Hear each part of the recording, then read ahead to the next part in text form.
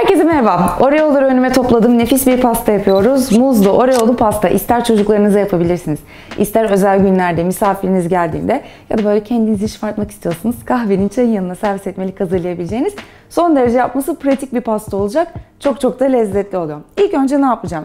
Bir tane muz, iki muz kullanacağım. Birini daha sonra e, pastayı süslerken kullanacağım.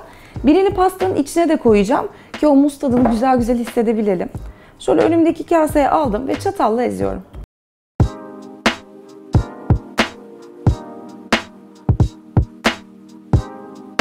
Şimdi iki tane yumurta ekliyorum ve yumurta ile muzu ilk önce şöyle bir çırpıyorum.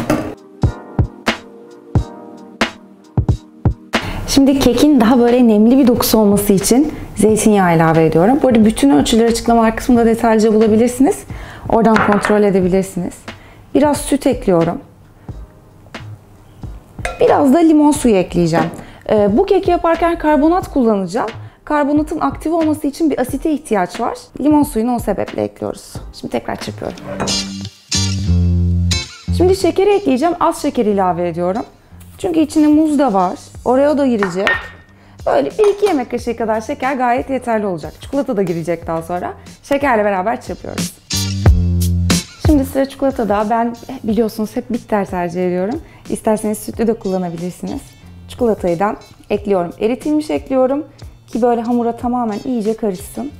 Yoğun bir çikolata tadı istediğim için hem kakao ekleyeceğim hem çikolata ekleyeceğim. Şimdi süzgeçe aldım çünkü kuru malzemeleri eleyerek eklemek önemli. İçine yarım bardak kadar un. Ben kek unu tercih ettim. Kek unu böyle biraz daha yumuşak oluyor. Bulursanız ondan alın. Bulamazsanız normal unu da kullanabilirsiniz.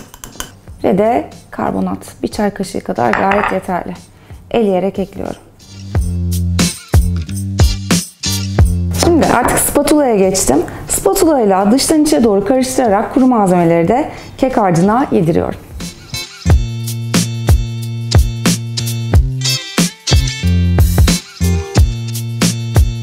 Şimdi burayı biraz daha eğlenceli bir hale getirmek istiyorum. Oreo ekleyeceğim. Klasik Oreo ekliyorum. Böyle bir 10-12 tane ekleyebilirsiniz. Elimle de biraz kıracağım. Oreo'yu tercih ediyorum. Neden? Çünkü Oreo pişerken çıtırlığını asla ve asla kaybetmiyor. Yani bunu böyle yemesi de çok keyifli. Hepimiz biliyoruz. Ama e, böyle kek yaparken, pasta yaparken pişen şeylerin içine de Oreo ekleyebilirsiniz. Asla çıtırlığını kaybetmiyor. Aynı zamanda alkol ya da herhangi bir hayvansal bileşen kesinlikle içermiyor. Gönül rahatlığıyla sizler de tüketebilirsiniz. Şimdi son bir kez daha karıştırıyorum. Ve de kalıpları alıyorum. Şimdi şöyle bir şey yaptım ben. Aynı kalıptan iki tane vardı. Piştikten sonra keki ortadan kesmekle uğraşmayayım diye iki kalıba birden pay edeceğim. Çok pratik oluyor böyle. Eğer sizde tek kalıp varsa tek kalıba döküp ortadan kesebilirsiniz. Ya da bazen ben tek kalıba döküp daha sonra üzerini süsleyip hani böyle iki katlı değil normal tek katlı bir pasta gibi de yapıyorum. Nasıl tercih ederseniz, nasıl sizin için daha kolay olacaksa. Biraz göz kararı hazırladığım hamuru iki kalıba bölüyorum.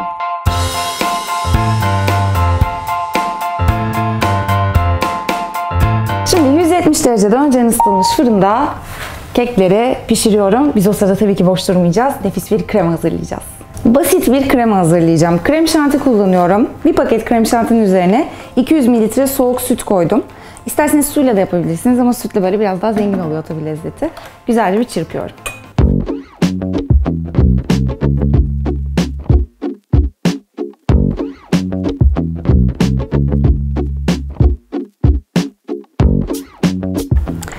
Tamam iyice koyulduğunu gördüğümüz zaman tamamdır. Şimdi kremayı da Oreo ekleyeceğim. Çünkü çok güzel bir görüntü katacak. 4 tane Oreo'yu önümdeki blenderdan geçireceğim. İyice un ufak olmasını istiyorum. Şimdi Oreo'yu da kremaya ekleyip yine spatula ile karıştırarak güzelce yediriyorum. Görmek istediğim görüntü tam olarak bu. Şimdi kremayı buzdolabına atıyorum. Keklerin iyice pişmesini bekliyorum. Kek piştikten sonra fırından alacağım. Oda sıcaklığına gelmesi için de bekleyeceğim ki sıcak keke soğuk kremayı koyarsak o krema böyle kendini bırakıyor. Öyle bir problemle karşılaşmayayım. Ondan sonra devam edeceğiz.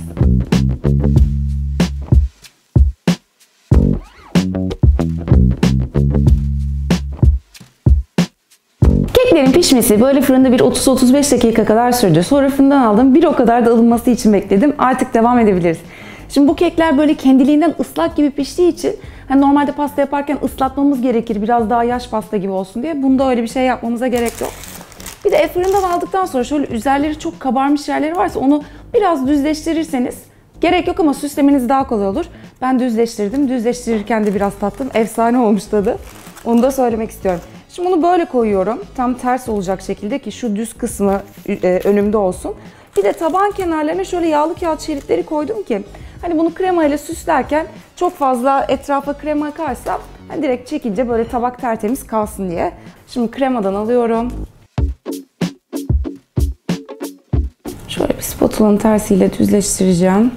İşte eğer kekleriniz bu aşamada yeterince ılınmamış olursa krema bir anda kendini bırakıyor. Sürelere dikkat yani iyice ılınmış olsun kekiniz. Şimdi muz.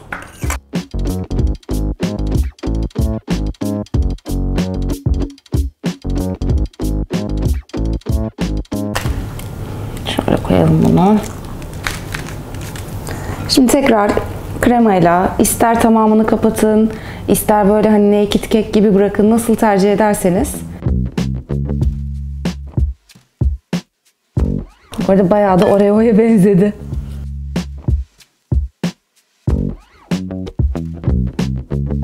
Yılbaşına da yapabilirsiniz bu pastayı. Herkesin bayılacağının garantisini. Ben şahsen veriyorum. Şimdi bunu tekrar bir dolaba atıyorum. İyice oturması için. O sırada şu kalan e, kremayı bir sıkma poşetine alacağım. Son süslemeleri yapacağız. Şimdi sıkma torbasının ucuna şöyle yıldız uç taktım ki biraz daha şekilli şekilli çıksın. İsterseniz bunu yapmanıza gerek yok. Sadece hani benim hoşuma gidiyor böyle minik minik süslerle de süsleyebilirsiniz. Böyle gayet tatlı. Şimdi son dokunuşlar. Süslemek için çikolata kaplı oraya kullanacağım bu sefer.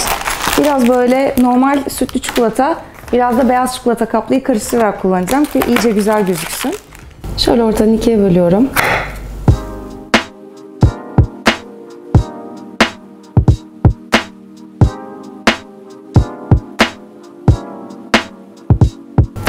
Şimdi kenardaki yağlı kağıtları artık çıkartabilirim. Bunu servis etmeden önce böyle birkaç saat buzdolabında bekletmeniz her pastada olduğu gibi çok önemli. Ondan sabahtan yapın, akşama kadar bekletin, iyice otursun. Ama ben birazcık şöyle minnacık bir parça tatmak için kendime keseceğim. Ta ta ta tam. Tabii ki minnacık yapamadım görünce. Elim gitmedi minik koymaya. Şimdi bakın içi böyle yumuşacık. Yani kendinden ıslak gibi. Şöyle kremadan istiyorum, oreo'dan istiyorum, muzdan istiyorum, her şeyden istiyorum şu an. Bakalım nasıl olmuş. İnanılmaz lezzetli. İçine koyduğumuz oreo çıtır çıtır. Hala hissediliyor. Kreması çok lezzetli ve çok hafif olmuş. Ben kimi zaman bu pastayı çilekli yapmayı da çok seviyorum. İsterseniz muz yerine çilek ya da frambuaz da koyabilirsiniz. Frambuaz da, da çok güzel olur. Muzlu da çok güzel. Umarım sizler de denersiniz. Eğer denerseniz yorumlarınızı benimle paylaşmayı unutmayın. Kanalıma abone olursanız çok mutlu olurum. Hoşçakalın.